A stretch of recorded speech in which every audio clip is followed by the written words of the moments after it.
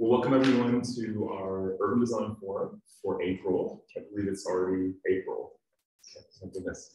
Uh, my name is Gary Gaston. I'm the CEO of the Civic Design Center, and uh, we're really excited. This is uh, we're actually wrapping up our four-part series that's been focusing on our 12 guiding principles, uh, and we're thrilled to, to be hosting this tonight. I'm just curious from the audience, who is this your first time to visit the Civic Design Center? Great. Okay, that's that's a good percentage. So welcome. Our mission is to advocate for civic design visions and actionable change in communities to improve quality of life for all. And uh, this is our Urban Design Forum. It's our monthly programming series and education series. This uh, Urban Design Forum has been going on since the late 1990s. It preceded the Civic Design Center itself. And uh, we are, are, thrilled to be able to continue to offer this program. Um, and as a way to engage really amazing people that are doing awesome work in the city of Nashville and uh, have conversations about design across the city and what's going on in Nashville and how we can um, impact change and make the city a better place. Our focus as an organization is in four primary areas. Uh, this event is an education event. We also do advocacy, so anything that we learn from these and want to promote, we work to try to uh, have change happen in that capacity. Uh, Shaping the Healthy Communities is one of our initiatives, and that's all focused on how the built environment plays a role impacting our own personal health, our public health. Uh, we focus a lot on mobility and land use issues. Um, actually, if you're interested and you don't have a copy, there's uh, a couple uh, different publications on the way out the door. Please take, feel free to take one of those with you. Uh, each book focuses on healthy communities and one on mobility and land use. And then uh, public space, reclaiming public space, both existing public spaces and new public spaces and how to make them better. Um, I just want to, to recognize our presenting sponsors for the year, Amazon Global and Mars Pet Care. Uh, we have tons of other sponsors, but um, just want to recognize our presenting sponsors. And uh, our incredible panelists tonight, uh, we, joining me here, we have Dominique Anderson, who's with Populance Community Strategy. Thank you for joining us. Uh, we have Dr. Kim Walker, who's with Abundant Adventure Club. Welcome. And uh, Lindsey Ganson with Walk And they'll uh, give a little bit more extended uh, intros uh, versus me reading their bios and let them give uh, introduction to themselves. So uh, if you are, if you're online, this is a hybrid bit tonight. So if you're online or if you're in the audience, uh, please feel free to, to engage with social media. If you do so, these are our um, channels and uh, hashtags. And also, I mentioned this is a part of our series that's focusing on our 12 principles, which uh, as a part of our 20th anniversary, which was last year, we actually took the original 10 principles, which are on the wall here from the Plan of Nashville, and we updated those and brought them into uh, current times, just revisited them through the lens of socially conscious design. So we wanted to go back and just uh, double check those. And then also we realized the 10 principles, two uh, major things were not addressed. One was really explicitly focused on affordable housing. Uh, if you imagine Nashville 20 years ago, it's a much different landscape than it is now. Affordable housing was not um, as dire a situation as it is now, but it, um, it just wasn't clearly explicitly addressed. So we added that principle to our, our principles. And then we also, because public engagement is such an important part of everything that we do as an organization, we made the very first principle all about public engagement and public voice and said adamantly that should be the number one thing that we do um, in any process. So that added up to 12, which actually gives us really great numbers. We have four months of programs for three speakers each. uh, and we're, we're, we're, finishing up this month with um, our focus on expansion. So each of the, there's four pillars that are encompassed in those 12 principles. The first one is representation. So uh, who is being represented in the room and, and uh, how and what is the foundation of that? Or, and then foundation is the second one. So what are the principles that you absolutely have to have in place to have a successful city? Uh, preservation, the importance of what is special and important to our city that we preserve it. And expansion, which is what we'll talk about tonight. What are things that we want to make sure that we are expanding and growing in the city to make it more abundant and better connected? And uh, so the, the format is each speaker has been invited to take a specific um, principle and they will uh, give a short presentation about their work focused on that principle. And then we'll have time for discussion afterwards. And then after that, please help yourself to drinks and we'll have a little time to, to mix and mingle since we're all back together again. Um, cool. All right.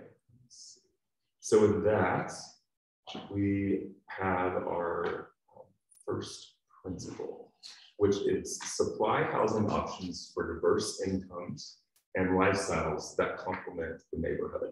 And each principle has a series of underlying goals and a few aspects that relate to that principle are things like inclusionary zoning, higher density near centers, uh, and maintaining identity with density. So, Tony, tell us more about yourself and then talk about what you're doing. Fantastic. So I'm Dominique Anderson. I wear a couple of hats all the time.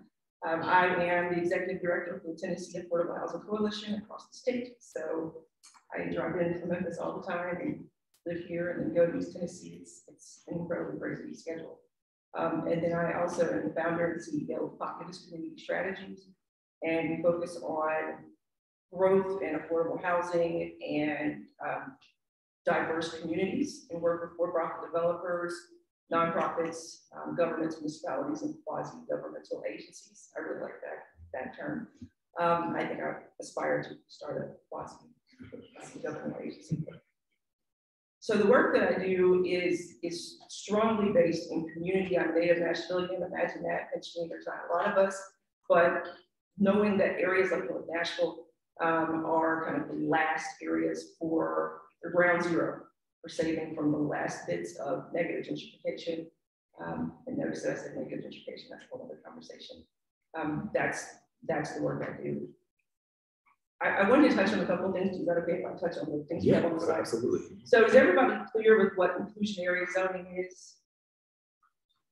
And uh, so inclusionary zoning is when you put together, look at the, the zone and the, the population of an area, how are you making affordable housing, how are you making that necessary and law, right? How are you making people do that? Um, Tennessee had an opportunity to have inclusionary zoning and it was, it was shot down, which um, there are people that do this every day. I'll tell you a little bit more. I like to keep it at kind of a maybe a big free level because I don't want to start talking affordable housing so far. High density near centers, higher density. So that's important because if you live far, so I grew up in Mount Juliet, right? So Mount Juliet was never happening growing up. Um, I'm of age, so there was nothing there.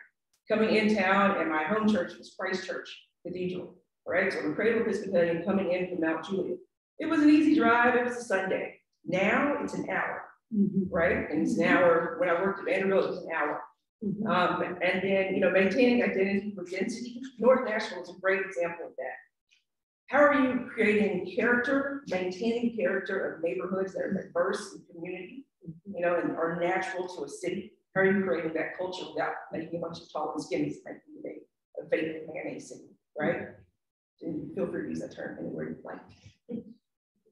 So what is affordable housing you? So there's, a, when you say affordable housing, everybody has a different version that pops up in their mind, right? It can be housing for individuals earning zero to 30% of an area's median income. So what does that mean? If the area median income is $60,000, then they earn none to 30% of that. That's a small number. So this is, you know, generally for people experiencing homelessness or very low income earners. Mm -hmm. They're important. They're not an asterisk, they're important, they're human beings, right? Mm -hmm. It can also be individuals earning 30 to 60% of an area's median income.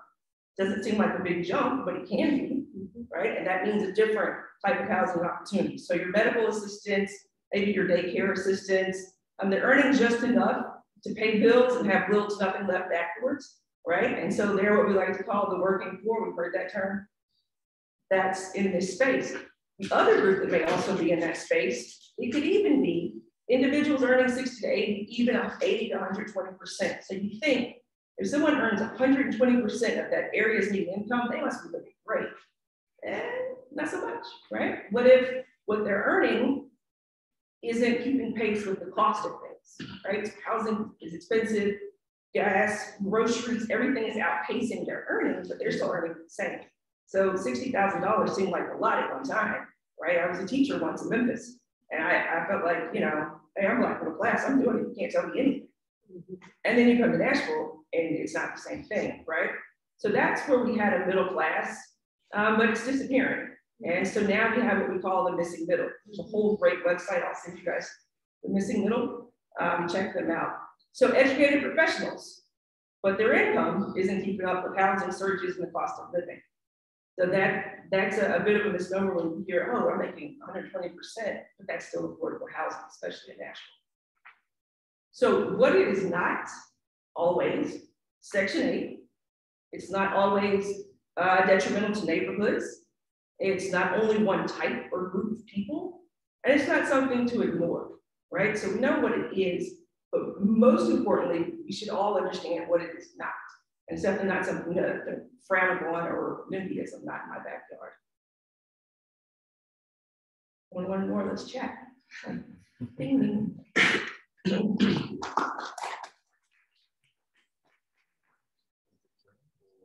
Yeah, you could just ahead. Yeah. to pass it back and forth. So uh, our next principle is expand park and greenway systems to, uh, to be comprehensive and interconnected. And some of the goals in that are inviting to all, micro mobility, link greenways to recreation, no car needed, parks for all ages. And so we'll ask, give us an introduction to yourself and let's talk about parks and greenways. Hey. I'm Dr. Kim Walker. Oh.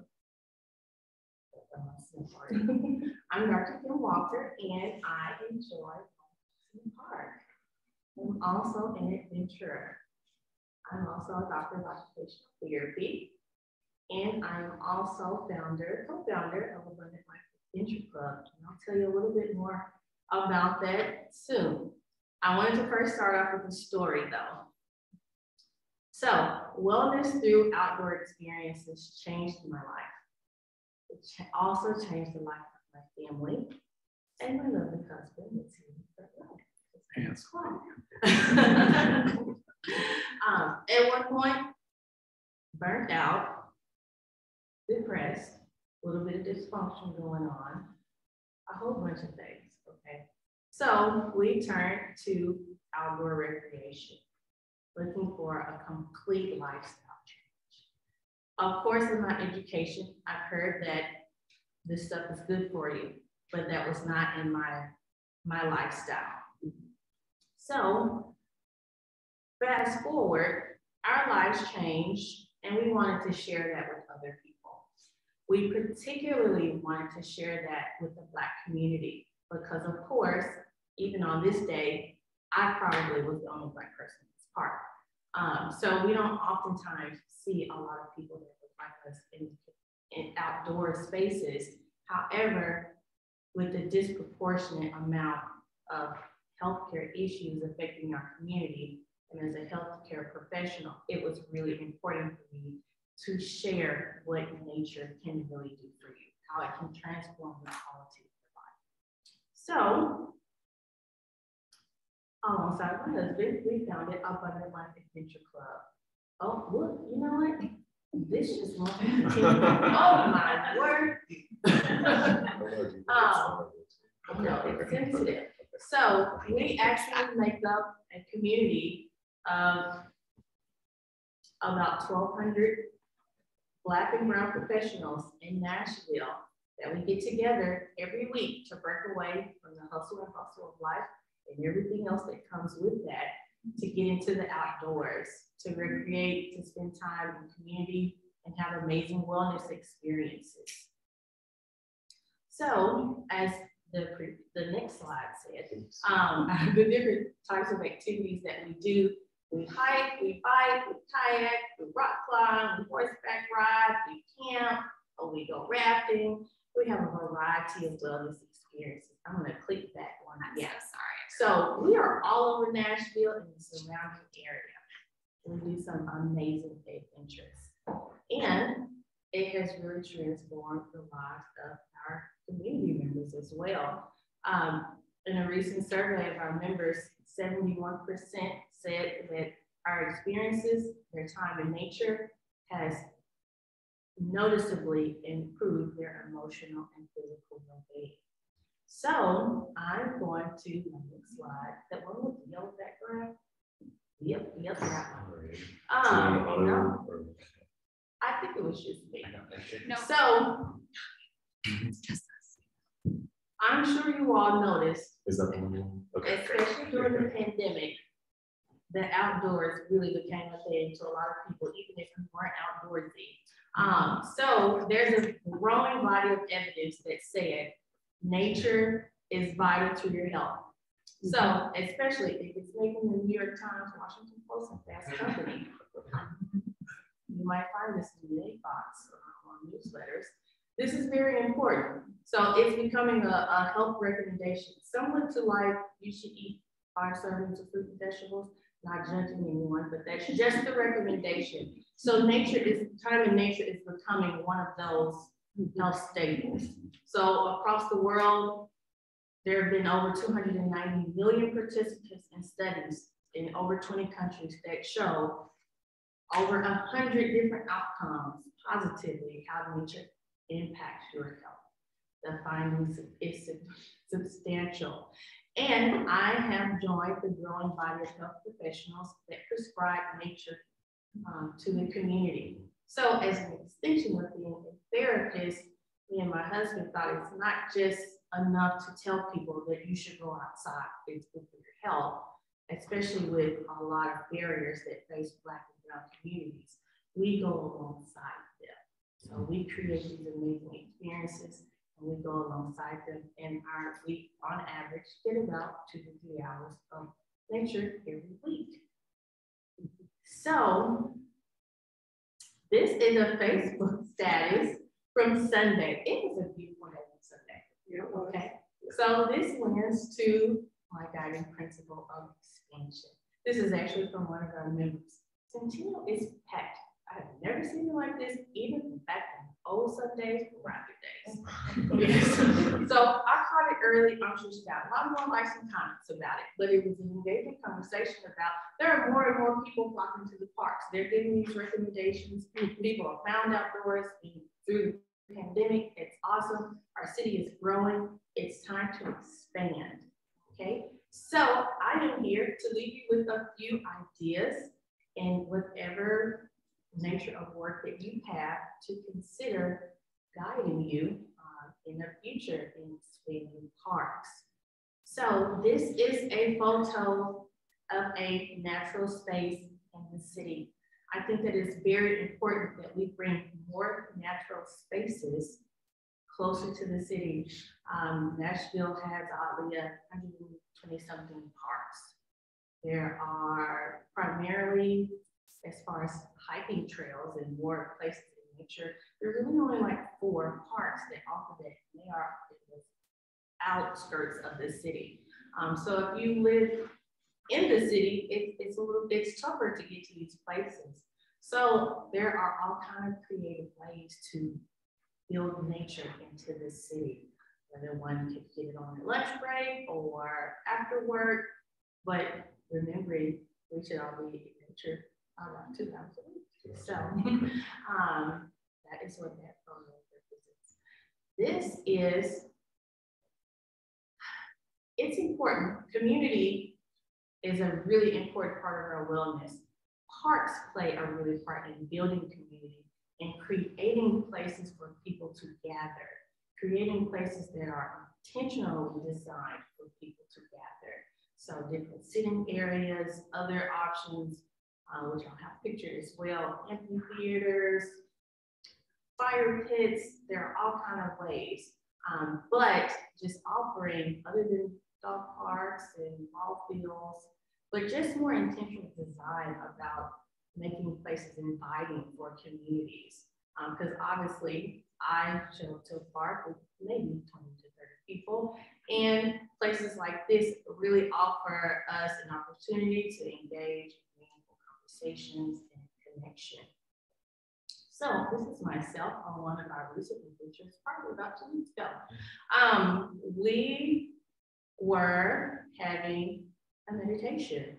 So offering, just keeping in mind that different groups of people experience parks and want to have a variety of experiences in parks. Not everyone enjoys the outdoors really in the same way. Um, so this is one way that is very meaningful for our community. Um, we practice a lot of mindfulness and meditation in nature, um, a lot of forest bathing. So having these types of settings uh, is important and just really my takeaway is just different different communities have a variety of experiences. This is actually in Warner Parks. Um, it's tucked away. Uh, we have a, there are a variety of ways that people engage um, in our park spaces and green spaces. And this is, this lends to accessibility. This is a boardwalk trail. I've seen these in a, in a few different places. Uh, but nature is very important. Oftentimes the terrain is rugged and is not welcoming to wheelchairs. But the wood is more of a, a natural element versus like pavement. Um, and it still blends well and, and just a natural therapeutic. Uh, so this is a way to, an idea to, even if you're not in a wheelchair, maybe you have some issues with, with walking, um, but it's just a little bit easier terrain to walk on. So that's something to consider. Also, signage. This goes into to being inviting to people and inviting to people who may have maybe new to the city, maybe inviting to people who are engaging in activities for the first time. But this is really something that we have an issue with here, um, especially in our more natural areas that there's not a lot of signage and it goes to safety. People want to feel safe, they don't want to get lost. Nobody wants to be lost in the wilderness. Um, so um, more intuitive um, and innovative wayfinding uh, is very, very important. All right, so my take home message is really thinking of ways to expand um, and bring people closer to nature. It's really important in Nashville, um, and it's really important to connect our community to these wellness opportunities. Great. And that's still well with the presentation um, section that we did last month because what's happening in Nashville with the boom and development is we're losing some of these natural areas that could be future public, you know, future open spaces that haven't yet been explored. So there's definitely a strong connection. That's great. Okay, uh, and our uh, final principle is uh, celebrate streets as places that address neighborhood needs and facilitate community interactions.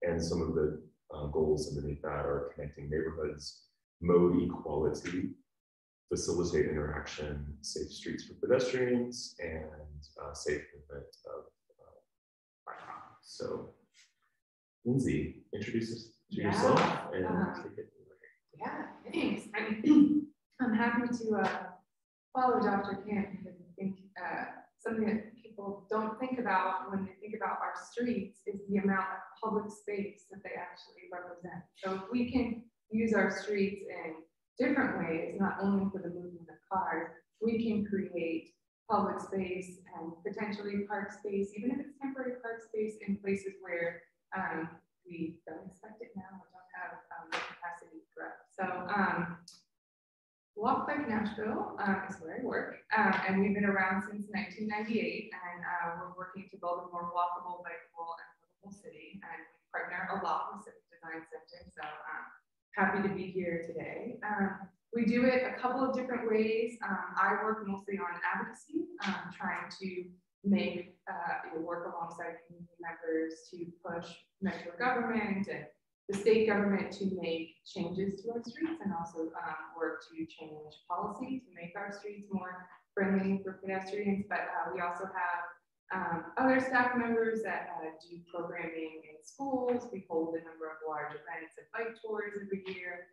Um, and we also host classes and events just like Civic Design Center. So today I wanted to talk about um, work that we are actually doing with Civic Design Center um, along Dickerson Pike. But before I get into the specific example, I wanted to put Dickerson Pike um, in the context of um, the city and our pedestrian safety issues. So the most important thing to know about um, pedestrian safety in Nashville is that when a pedestrian is killed, it is not an accident.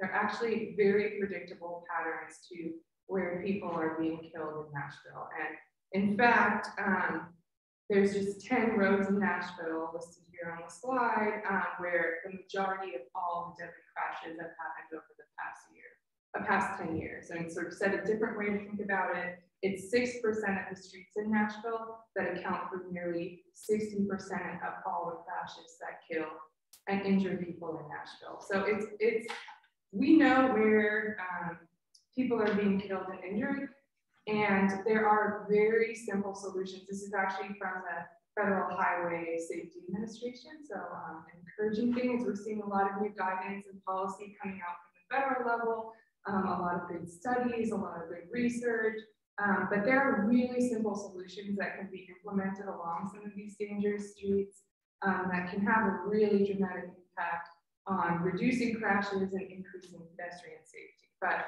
um, in Nashville, those changes have been very slow to happen um, along those 10 streets I listed. Um, and it's because our mayors, our departments of transportation, um, have been overly concerned about the movement of traffic um, and traffic flow and travel times. And these arterial streets that I mentioned, those 10 streets listed, there are big pipes and boulevards, and they also tend to be the redundancy for our interstate. So um, where traffic is diverted plans. So here's a project I wanted to mention a little more specifically that we're working with Civic Design Center um, on uh, Dickerson Pike. And uh, this is a picture, um, it's a snapshot, a screenshot from um, a website um, where we have mapped all the pedestrian uh, deaths in Nashville. Um, and you can see the locations where people have been killed, learn a little bit more about the person who was killed in the crash, and um, more about the location where the person was killed, and really see some of the patterns um, in the design that I was talking about. Um, so um, this is an intersection where um, a gentleman named William George Cox was killed in 2020. He was 60 years old and he was trying to cross um, this segment of Dickerson Pike. Um, so it's five lanes of traffic here. It's uh, 40 mile an hour speed limit. You can see there's no sidewalks that many of the businesses have open driveways and big access points. And this is very typical um, street for those streets I mentioned where we see people uh, being killed year after year. Um, and the nearest signalized intersection to this um, location where Mr. Fox was killed is uh, a thousand feet north um, from here. And so, just to get an understanding of that, a thousand feet, put it in perspective of blocks. That's like three blocks, Yeah. three city blocks. you Yeah. have to walk. Yeah, um, and here is what the intersection looks like. So, you know, when you see some of these crashes reported quickly on the news, it might say, oh, they were crossing mid-block. Well, what incentive do you have to walk to the intersection when it looks like this? So this is what Dickerson and Hart Lane looked like in 2020. And so at this intersection, actually, between 2018 and 2021, there were 22 pedestrian crashes that killed or seriously injured pedestrians. So there's no increase of safety at, at the intersection. Um, so now we get to see a little bit of a solution. So this is um, this segment of Dickerson Pike. Uh, we are trying to uh, work alongside community members and with the Civic Design Center and the youth design team to advance some of those pedestrian safety improvements that we know are proven um, and that we know can really reduce crashes. So the um, youth design team came up with a design for this intersection um, that included crosswalks and some uh, extended curb extensions. And um, when they put in the application for the temporary solution, Metro Nashville actually went out and painted these crosswalks. So that was a very encouraging um, outcome that the city went in and did it first. And then here's what it looked like when after those crosswalks were painted, Civic Design Center and the youth design team went in um, and painted this beautiful art. Um, and then um, in addition to the immediate safety benefits we saw from this, um, we have been using it as a way to generate additional community input and ideas and responses to a survey about how we can really uh, accelerate improvements like this up and down this whole stretch of Dickerson Pike. Because we know people are walking, we know um, people are being killed and injured, and we know the improvements have been slow to come. So while this is this is great and it's exciting that there's a crosswalk and there was some temporary art put in this fall, um, the intersection still lacks like the very basic pedestrian signal. So like the walk, don't walk sign is not here. Um, and really doesn't have adequate lighting. So it's very dark at night. So there's still a lot more common sense safety improvements that could, um, we've been told are coming. Uh, so really quickly, this is the next phase of our project. It's super exciting. This is not yet approved by Nashville Department of Transportation. We actually just put this application in. Um, but it's just another example of the kind of temporary pop-up solution that, that we can do while we wait for some bigger, longer term improvements. And this is actually a plan, um, the next phase from the design team that has a temporary pedestrian island. And what you kind of see on the right is a, a kind of pop-up temporary sidewalk too, because this area really lacks um, sidewalks. And this is by um, Rocket Ship Elementary. So while we were really excited to see the crosswalks and something that we've heard from a lot of community members as well, not all crosswalks are equal. So some have, um, in this case, there's no signal.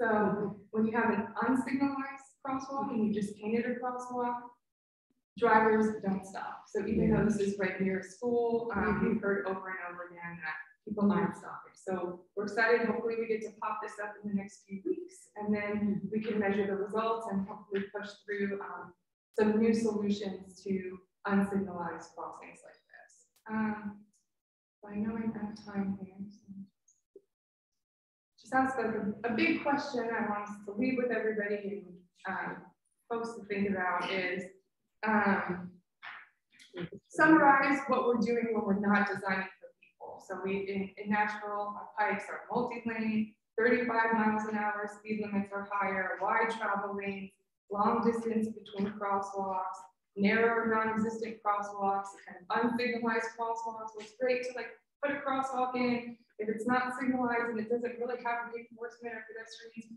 spaces or um, you know any any kind of signal, we're not really people stopping for it. So um, we need to think about more elements that we can add to our streets that are permanent, uh, that slow drivers down and really put people first. Um, so, but it also doesn't always have to be those permanent solutions. So um, just wanted to share, this is our Open Streets program. It's a temporary one day street closure.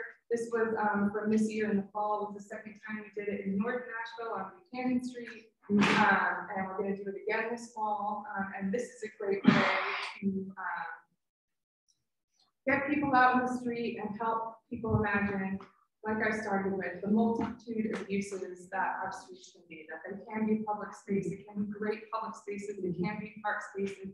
And while um, we really need to start prioritizing people and making changes to the design of our pikes and our boulevards to save lives and prevent injuries and make spaces more walkable and bikeable. We can also use our streets for fun temporary spaces too. Um, so I had my final slide, which is a fun slide that said, um, from our Open Streets event, where do you want to see more open streets? So right now, Walk Bike Nashville does this event for one day, once a year.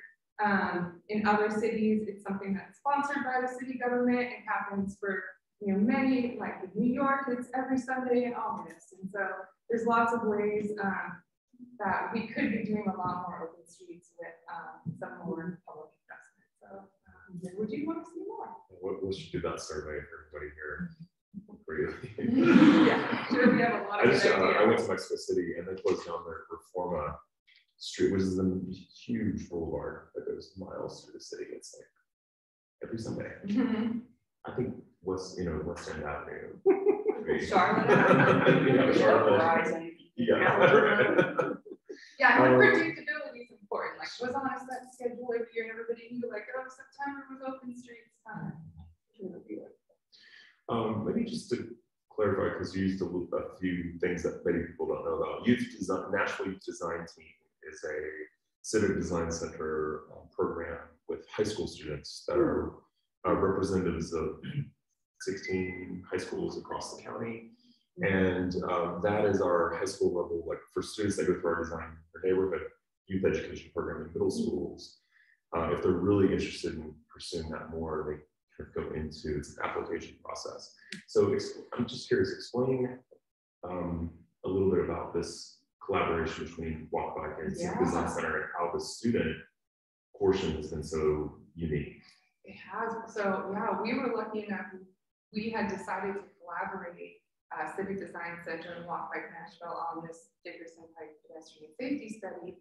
And um, the youth design team had come together and got presented a number of different topics and information, and they were able to choose what project they wanted to focus on. And they were so compelled by the pedestrian safety issues that that they experienced in their daily lives and what they learned from um, the at Civic Design Center that um, they wanted to take up working on pedestrian safety and then kind of really zeroed in on the nighttime issues and the lighting issues at that Dickerson and Park Lane intersection. So it's just a really great synergy. And then what we saw, which was really exciting, that first tactical urbanism, that pop-up crosswalk and the painting there that you saw at Dickerson and Hartley, that was actually the first time that the Tennessee Department of Transportation allowed us to do that kind of temporary pop-up installation on the, on a pike, on an arterial street. And we heard over and over again that it was really the youth voices that made a difference. That it was the passion of, the kids and the fact that they had made this design and picked this street based on mm-hmm. the data and their experience and what they heard from that was really able to um, push through kind of getting something new done that I think has really generated a lot of good ideas and energy for the project overall. That's great. It's really exciting. I, I, I tell that story a lot about the TDOT and the youth. It's like we've been trying for so long, and then this is the tipping point of getting this happen. So great. Um, this is a big toss-up question. I'd love to hear from each of you. Um, housing, open space, transportation. They're all so interconnected.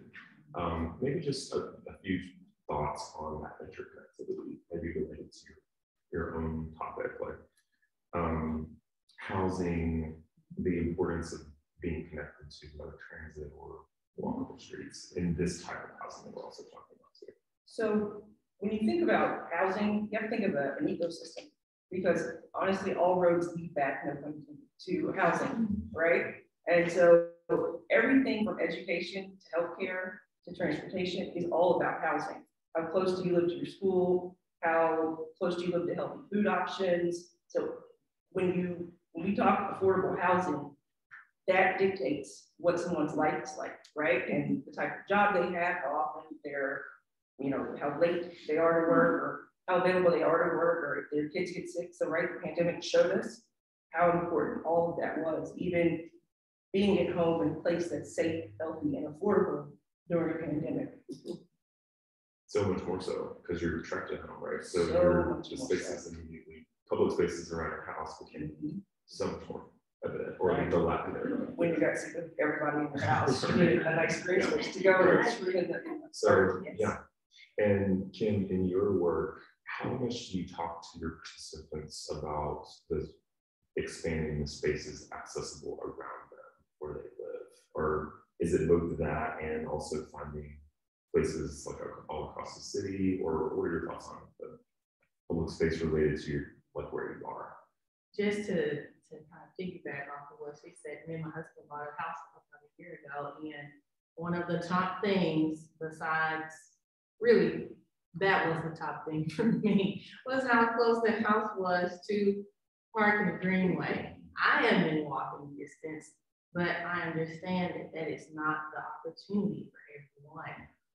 And just, I mean, it shouldn't be a luxury, especially if, if we're saying that it is essential, um, really to our health to spend time outdoors, to have fresh air, mentally, physically, emotionally. I mean, all things this is really helpful. But in people who live really, if you think about it, in the, the innermost part of the city, um, we have lots of, you know, high rises and things like that. We people need opportunities to have nature. And you do have to get creative with that. Not to say we're gonna, you know, not asking for necessarily a central park in the middle of the city, um, but we do have to have access um, to nature and green spaces. Um, and one thing that I hear, even sometimes people are unaware of the spaces that we currently have, so that's a whole other issue. Um, but even increasing them, because a lot of times we go to parks, um, in one sense, it's like sold out because if the parking lot is full, Yeah, you can't get in it. The last thing you want is your car to get towed, you know, and so it's a lot of times for people who live in those areas, normally they're way out on the edge of the city, and most times they're not communities of color. Um, so it just makes it harder to access it, uh, via driving there, parking there. I, I should have put that up there, parking. Um, and just getting to know the different spaces and feeling invited to the space. If it's not in the community that you would frequent any other reason. Equity and publicity access. Um, we're gonna have a follow-up date. I talk to you like, All of us, but, uh, Lindsey, thoughts on connections to uh, walkable, bikeable, and housing in floor spaces? Yeah, I think, I mean, we especially are seeing that along Davidson. I think it's been really interesting just in the time that we've been doing the work, the number of properties that have changed. And, and some of that is development that, that's coming, some of it is redevelopment, some of it is promising affordable housing, some of it is in active negotiation with community members. Um, so it, it's complicated right now uh, along the stretch where we're really trying to look at pedestrian safety. And, and on the one hand, um, there's an argument to be made that why don't we put some of the costs of some of these improvements on the developers and wait for the development to happen? But then in the meantime, we also want to preserve what's there and honor what the people who live there want to see in that future development. So we need to accelerate improvements now. So I think it's, it's a really interesting point in time um, for how, I guess I have a concern that we're going to see some delays from Metro Nashville, potentially Tennessee Department of Transportation, thinking that developers can pick up some of this. But then you also have to think, well, great, sure, like let's not spend public money, let's have developers pay for it, but then how does that add to the cost of the development for the developers that are trying to do affordable housing development? So I think it's, I mean, there's there's not a one fits all solution. So what we're really trying to do with um, the Davidson Pike work specifically is document what the people who live there, work there, are riding transit there now want to see and would like to see in the future and figure out what pieces of that work can be accelerated right now with existing funds and what pieces of that work could be packaged up in a way to make us more competitive for some of this new federal funding opportunities coming down from um, the American Reinvestment So there, there is going to be a lot more opportunities for funding um, from the federal level. So I hope that we can position ourselves as a city to aggressively pursue it for places like Jefferson Pike, Murfreesboro Road, Pike, and, and not wait for developers to, to do it uh, because we want the community voices centered in this conversation. And the longer we wait, the more people are being displaced. Can I give a case study, just a tiny case study? Yeah. So when you speak of developers and what they'll do, or what they can't do, um, Wedgewood Houston is a great example of when you use your voice, right? Um, developers, because they want to move their projects forward, will do A, B, C, and D. So when I worked with the group in Wedgewood Houston, um, there was a developer that came, I mean, there's uh, like seven hundred developers in Wedgewood Houston, right? I don't know how they're packing so much stuff in that radius of sound.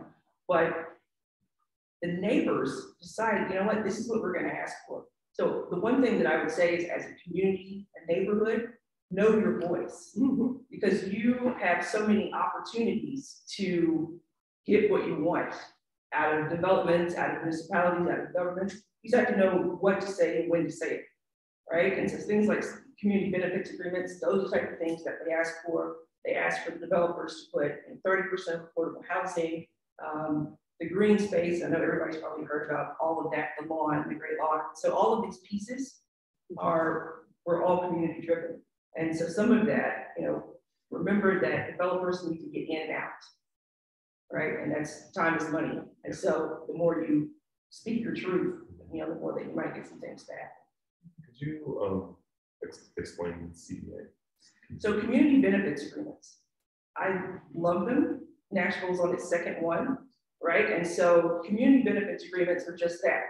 They're that agreement where, you know, the community is gonna have, you know, as neighbors and neighborhoods, I think we all want everything, right? We want all the things, we want you not to do anything. Developers often get a, a bad rap as villains, right? That's not always the case. Um, but a community benefits agreement is a legal document, done well, it's a legal document that says community agrees to support this project if the developer agrees to do X. It's all, almost always um, dealing with transportation and traffic um, and affordable housing and then character of the community. You have that opportunity uh, as an organization. And what's the obstacle for now for only having two so far? To what? To Oh, well, one, it's people knowing that you have that that exists. Um, two, it's cost, because it's, you know, lawyers, and it's, I think, the same lawyer, this one has done both.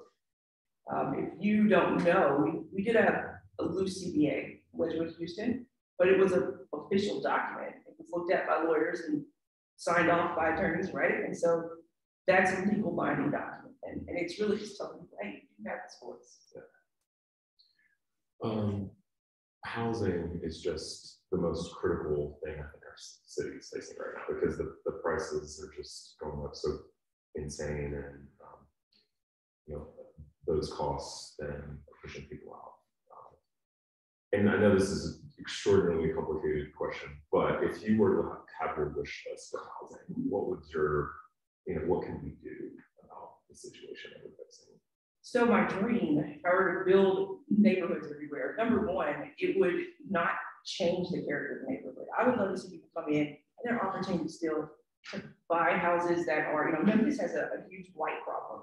And Nashville has less of that because everyone's bought up everything. But in the dream, there would be affordable housing that looks like the housing where, you know, my grandmother's street, the house looks the same, mm-hmm. right? But it's just updated and it's, it's fresh where there are good open green spaces, right? So that we realize those parks and that people come together and it's a variance of um, incomes and lifestyles and thought processes, but we can come together in one space and uplift that community together. And that nobody comes in and feels like they're better than anyone else or they're gonna lift somebody up. That's, that's not really how that works. And uh, ways to make that happen? Do it. People ask me this all day, all day, I answer this question, well, how do you know if you do it? Right. right? It's the developer saying, you know what, I'll put that thirty percent, doesn't sound like a lot, but if you get thirty percent of the time, every time you do it, that's, that's more, right? And it's also about, you know, developers can take a three, three to five percent developer fee. When you're talking about making money as a developer, you can get about three to five percent in the market rate.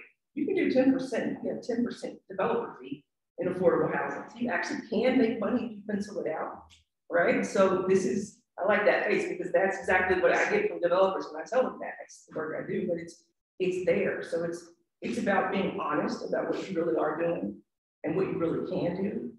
And then it's also about community saying, knowing, um, oh, what's, what is Jim Fox group?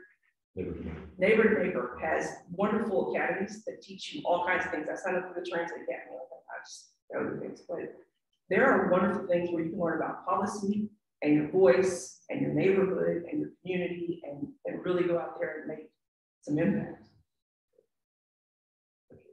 Sure. Uh, what would you prescribe to us, or if you're giving us a, uh prescription for outdoor space? Give some suggestions. Let's do. Just. Um, but. Yeah, that is a good answer. Um, I know that there's a goal, uh, for park associations and cities to have, uh, park space and open space within like ten minutes of someone's home. Uh, And parks can look so different. So of course, my, my whole underlying theme is creating these pockets of nature um, and just being creative with the design. Doesn't necessarily have to be an acre upon acre, um, but just providing these green spaces in, in, different pockets. So I know you kind of mentioned like different news stories, but also probably every other day you hear something about a mental health crisis. Um, we've talked a lot about mental health crisis in our youth. Um, and there's a lot of science that goes behind youth spending time outdoors, especially in generations where from birth there's like an addiction to screens. Um, times are significantly different. The amount of time, pressure, and the things that our children are exposed to on, on screens or just inside it sounds so simple, like going outside, um, but that's just the way that we were created. Spending time outside, being children, playing, connecting with friends. There's so many things that they learn and so many things that are important to their development. So, I mean, go back to the Stewart, but uh, yeah, just taking into consideration these green or blue, close to water, um, spaces in our neighborhoods, open lawns. But I think, I mean, I love what you're doing in there is that you have, you're making, you're helping people, I think, take that first step, right? Which is the hardest thing to do sometimes. And then you're, you're introducing that to them. And then I'm sure they're participating with you, but then they're doing it on their own too, right? So they Absolutely, yeah. So we cater toward adults um, but we're really intentional about our programming and how we introduce, we, we never go to the same place back to back. Um, so we go to a variety of places and have all like different types of experiences even within one place. Mm-hmm. So it's teaching people who have, for whatever reason, not engaged in outdoor activities or recreation and being in nature. This is what we can do. And normally they go out and experience. You know, they take their kids, their friends, and it's really growing a community of people who like to spend time outdoors for whatever reason. Uh, I did want to leave you with this story. I wasn't sure I had time to tell. Um, so one of our most active members, uh, she she probably comes out about twice a month. She is fighting stage four cancer, stage four lung cancer. She comes out, and if I could think of anyone who is like the poster of thriving with cancer, living an abundant life with cancer, it's her. And how this was not meant to make me emotional, but just how meaningful it is for her to spend time outside in community, practicing wellness in nature, and how at this point, she's beating cancer. At stage four, it's not very common. So you can see it it's doing. Absolutely. To like read the research that says being in nature helps fight cancer. They get to know them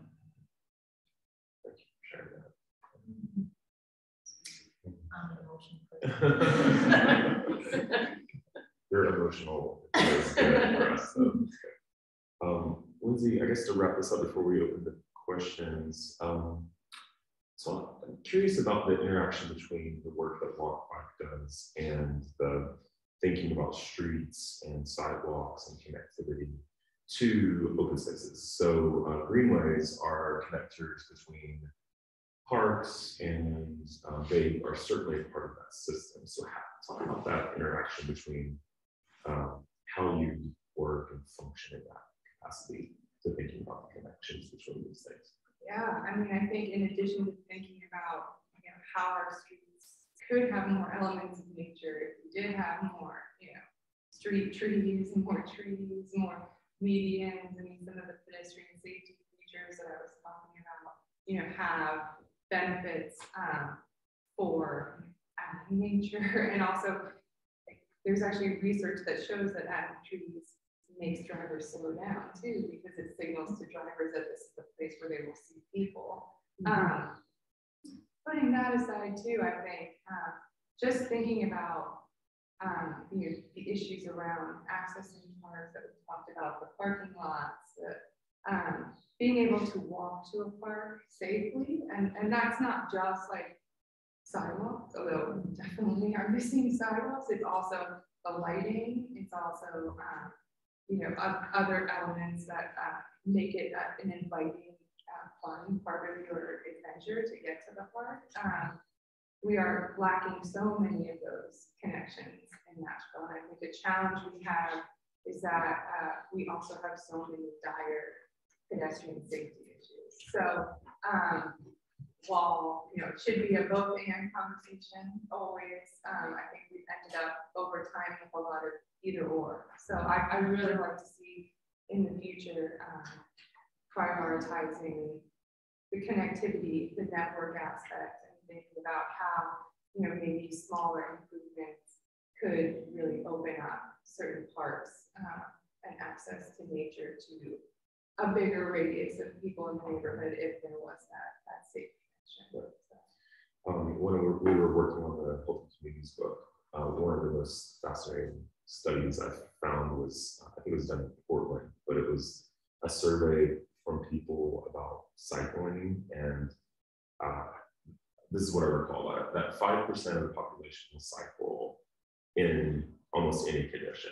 Like they're okay with that, but sixty percent of the population would consider cycling if they truly knew they were safe, like in a protected exactly. uh, situation. So even that brings up, um, international is just not there yet. But if we could, then you have more access to from your homes to public spaces to where you're going to work or schools. Yeah, and when it comes to biking, I would be really excited to see more bike share stations and more opportunity to, you know, not necessarily have to bike from your home or bring the bike in your car, but being able just to grab a bike in or near a park and bike to the park, bike around the park, and bike out of the park.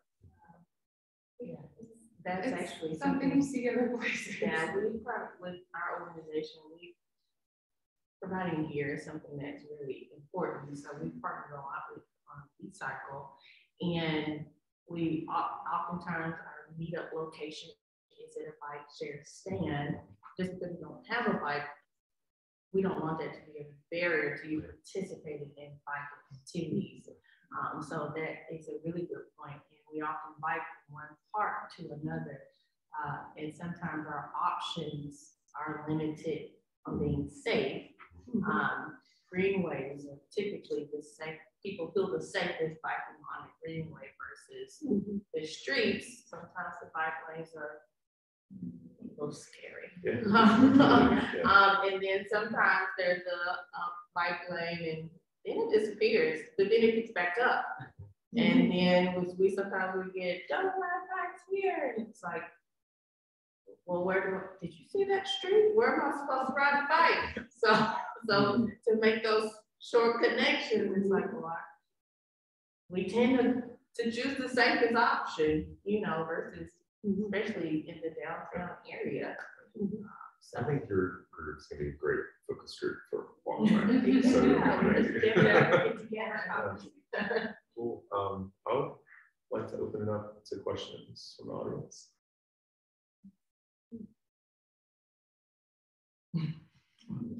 Um, I live in Inglewood, and um, we we had a council person who was real interested in getting our crosswalks and stuff done, and he did.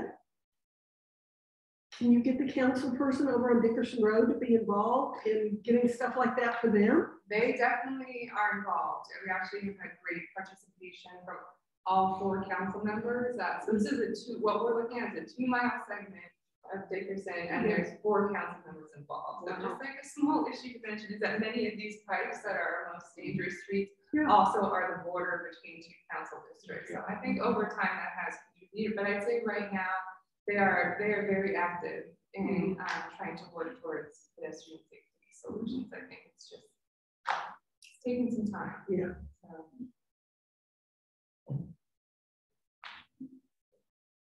Um, I'm an architect in town, this is for Don. Um, so we often find ourselves as like a liaison developers and communities and council members in the city. Um, and we actually just we worked through a draft, uh, for CBA with Snap and Tag, so which was Yep. Um, and I totally agree, they're the most, it's the best tool we have right now to go hunting for stuff, for affordable housing and other things. But I'm also, but it also takes a lot of organization a lot of people on right, on right path that are willing to spend the time and energy and effort to make it happen. Um, so I'm curious, your thoughts on two things. One, what is your ideal scenario for affordable housing in the city? What combination of private and public has to go into that? And two, where do you think it will actually end up in terms of, and we know the city and the state go back and forth, and there's been efforts to, you know, kind of uh, providing development incentives and things like affordable housing reality, which ultimately has been shut down. And it's like in this, you know, purgatory in a way. Right. So I'm curious about your thoughts about uh, what's ideal and kind of where you, where you think it'll end. So. Maybe not end, but get to a better place. Sure, when we'll, we move forward. So let me just say that Terry at TAG and Shay at Snap are doing the lion's share of the work, right? And that was, I was with Snap when we started that process, right? And, and have since before, but you know, what looks great in housing and community, I really do like mixed income housing done well. Um, there are studies out of, let's say, New York, right? New York is just really clawing at the bit for all of this mixed income. They didn't do it well initially. So you would have buildings that were sprung up in New York and you have separate entrances for depending on your income. So you know, you have really wealthy people that go in the front door and not so wealthy people that go in the back door. That's not how should work. That's not how should work. But um, when you, North Nashville again is a, is a great opportunity. Um, my grandfather was a brick mason and built a lot of the city and it's now gone because it's a big city, right? Um, there is an opportunity. We've built so much expense inside of North Nashville. And I look at areas and I go, where did you find you know, plot of land?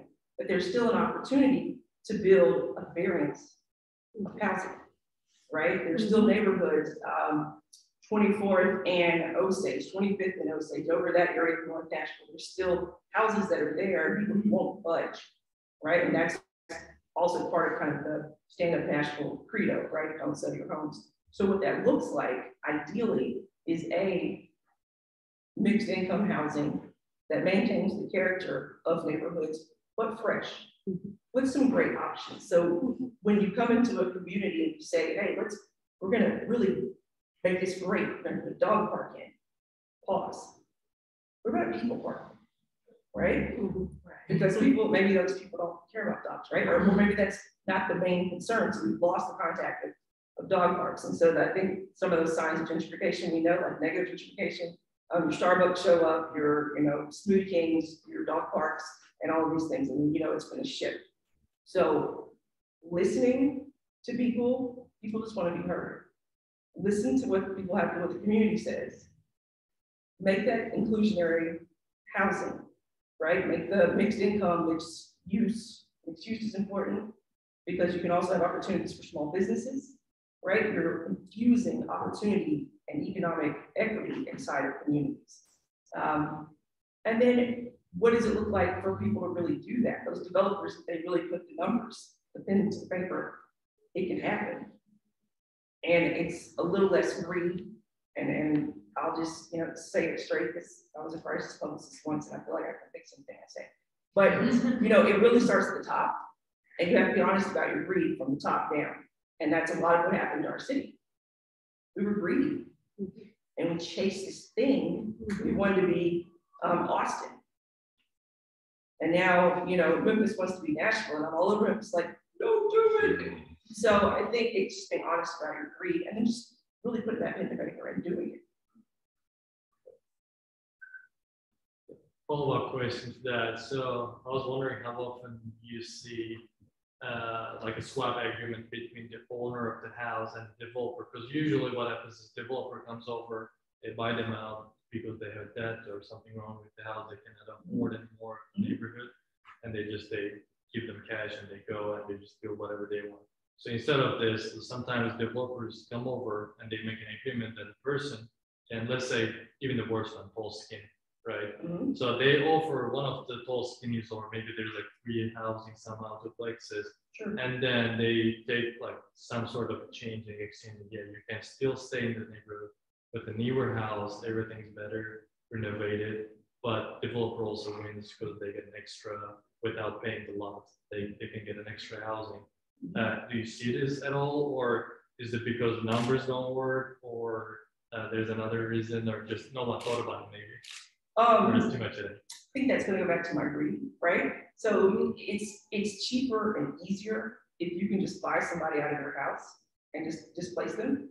And because Stand Up Nashville is doing, again, a really great job of telling people, understand what that fifty thousand dollars means to you. Mhm. And number one, your house, you're undervaluing your house by an incredible amount. Number two, when you get that money, where are you gonna go? And that developer's not always gonna think about that. It would be great. Um, there was a project I know, the developer bought a house, um, supposed to rehab it, tore it down, but gentleman that lived in the house, they rehoused him. Now, Memphis is ground zero for projects, large projects where they rehouse people and it's, it didn't really work out well because what you've done is not taking people out of where they're familiar put them in a whole new area where they're unfamiliar, and so there's tensions. So it's really thinking through that process of where does that individual go? I'm a developer, I want this piece of land, A, I'm gonna pay them fairly. B, am I gonna tell them this is what's gonna happen? C, am I gonna ask them, you know, what's next for you? There's, there's like human steps that stop that. So gee, that's a great concept, but human steps stop that. Does that make sense? Yeah, it makes sense. Rehousing doesn't work on the, like, if they move somewhere else. They, Right. they're supposed to stay in the same neighborhood, this the whole logic Right. of doing that. Right, Um, I, but I, I would understand that the numbers may not work as, as, right, but I know, like, for example, North Nashville, there is a lot of people also who got educated, like, thanks to a lot of people help, helping them and telling them, just don't move out, don't get the, don't Right. accept everything. right. So maybe, but still, like there was a tornado, then now they cannot afford to renovate it. Maybe there can be solutions like that. They can just still stay in the same plot at least, Mhm, but maybe a smaller house or somehow like better renovated. mhm. That they could stay in a secondary house somehow. So like the, like a lot that would hold two homes, Yeah, So the developer would build one egregious house, right? And then one like normal human house, or the Um, apartment complex, bunch of houses there. right? Yeah, that- Shared. Shared. Shared. Uh, So, yes, and, right? Yeah. Shared equity maybe, what shared equity is where, you know, you move, when you move out of a house, you have equity in the house, but you leave some of that for the next people, so it stays uh, permanently affordable for perpetuity, right? So there's maybe, but I- yeah, I can see that. We had uh, worked on a DADU, uh, detached accessory dwelling unit proposal where homeowners could, the city could partner with them to help build an DADU on their lot, and then they, as the homeowner, would reap the benefit of the income from that Mhm. unit, and then it's supplying affordable housing to people. So two, two things happen there. One, before I forget, your person that you're gonna move into that apartment, maybe Miss Miss Sally lives in this house, right? And, there- or there was a project where they were rehousing section eight, right? And they didn't understand that if Miss Sally lives in this, this unit and she doesn't have lights aren't in her name, and she's not supposed to be there with somebody else, right? You're unearthing a lot of things and you have to have um, government agencies to help walk through all those pieces. And then with the daddies, so now Miss Sally lives in this, this house and she's been there for forever, right? And She has this down in the backyard or maybe not a big building. Now Miss Sally has to become a landlord, right? What does she know about that? How does she monitor that? Does she know about property management? All of these things. So there's there's a line in that. And people just get lazy and they just like, you know what? Let's just build more great. Seems seems right. Yeah. so I really have two quick questions. One is for Dominique, one for Kimberly. I'm just gonna ask both of them real quick. So that we know there's a negative uh, stigma on affordable housing, right? So you talk about what it is not. So what can um, Nashville, the city, do to educate people more uh, about what it is not and actually uh, let people know. The reason why I say that because I've seen where there is a, affordable housing coming to Nashville, and it was shared on the Facebook groups, but uh, people started with the negative stigma. And but basically, it was saying this uh, family may have uh, thirty thousand dollars as far as the total family income, and this amount of people may have forty or fifty thousand dollars of total family income, but there was still negative stigma. And the next question is, and basically, how do we, how does the city or do you feel educate people about what it is not? And as far as Kim, as far as uh, open spaces and parks, like what do you feel like the actual Metro Nashville parks or just the city as well could do to make people more aware of the spaces that are actually in the community that, that they can take advantage of? So.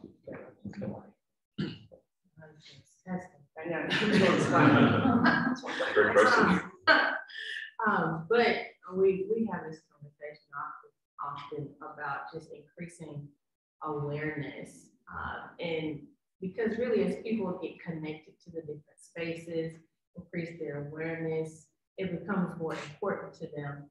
We tend to want to cherish and protect the spaces. We first have to be aware of it though. Um, but in terms of, it really goes in essence to building community. Having conversations like this really is the first step to building awareness and building community. Real simple stuff makes big impact. Having open forums, having conversations, and extending invitations. Um, so we have amazing partnerships that develop that we have with the Abundant Life Adventure Club through an introduction, a conversation, and an invitation. Game changing, revolutionary things. Um, so extending invitations to other community groups, other organizations, other churches.